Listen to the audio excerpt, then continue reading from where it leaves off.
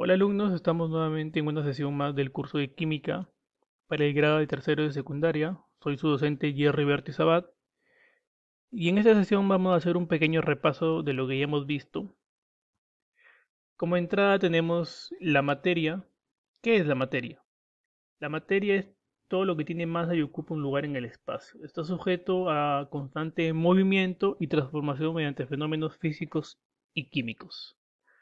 La materia se puede dividir en cuerpo, el cual se divide en partículas, las partículas se dividen en moléculas, las moléculas se dividen en átomos, los átomos se dividen en partículas subatómicas y las partículas subatómicas se dividen en quarks.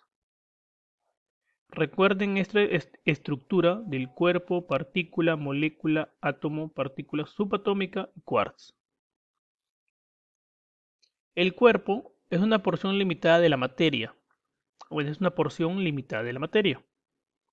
La partícula es la porción pequeña de una sustancia que se obtiene por medio mecánico.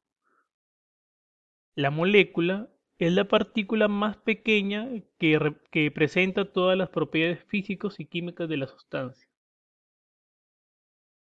Y se encuentra formada por dos o más átomos, ¿Qué quiere decir? Que un átomo va a ser más pequeño que una molécula y una molécula va a ser más pequeña que una partícula. En la pregunta que yo les dejé, que decía, eh, ¿cuál es más grande, una partícula o un átomo?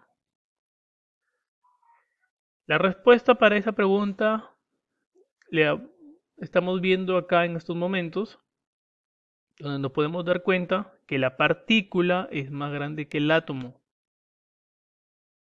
No sé si tendrán alguna confusión de repente con las partículas subatómicas. Partículas y partículas subatómicas son diferentes. De ¿qué podemos decir del átomo? Es la cantidad menor de un elemento químico que tiene existencia propia y que está considerado como indivisible. Pero eso no quiere decir que puede estar conformado. Por ejemplo, está conformado con partículas subatómicas, las cuales las podemos ver acá. Tenemos al electrón, al neutrón, al protón. Esas son las partículas subatómicas que conforman al átomo. Ahora, esas partículas subatómicas están conformadas por quarks. Los quarks, eh, como su mismo nombre lo puede decir, son los que mantienen unidas. Son los que mantienen unidas para formar los protones, electrones y neutrones. Ahora, entre las tareas que les he dejado, les pedí eh, que me investiguen 5 quarks Y eh, los quarks realmente son muchos. Yo solamente les pedí 5 para que ustedes tengan una idea de cuántos quarks pueden haber. Y cuáles conforman un protón, cuáles conforman un neutrón, cuáles conforman un electrón. Ahora también eh, he visto dentro de sus tareas algunas confusiones que han tenido sobre el estado de la materia y los cambios de fase que tiene la materia.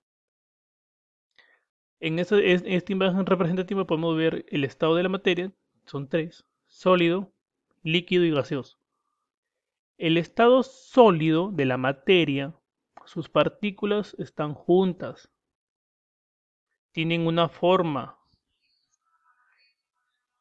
En cambio, el estado líquido, sus partículas están un poco más separadas y no tienen una forma. El estado líquido adopta la forma del recipiente donde está. El estado sólido, sus partículas están separadas y son independientes, no tienen una forma. Por lo mismo que sus partículas son independientes. Ahora los cambios de fase. Tenemos el punto de fusión, punto de vaporización, punto de solidificación, punto de condensación, punto de sublimación y punto de sublimación inversa. Veámoslo aquí en la siguiente imagen.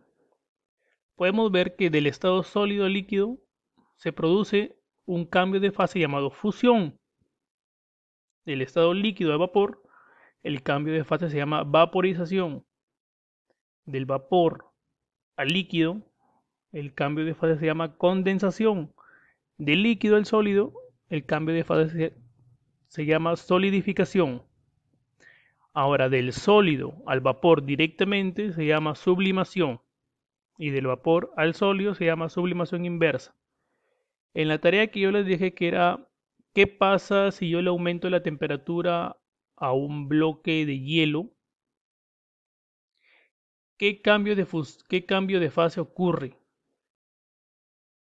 Muchos me han contestado los estados de la materia cuando yo les pedía el cambio de fase y el cambio de fase de un estado sólido, que viene a ser el hielo, a un líquido, sería la fusión, o en todo caso, si lo han entendido, de un estado sólido a vapor, sería la sublimación. Espero que esto, este cuadrito les quede claro de la diferencia entre los cambios de fase y los estados de la materia. Muchas gracias, espero si tienen alguna duda que me la hagan llegar al correo y eh, espero sus preguntas con respecto a este video y sus comentarios. Muchas gracias.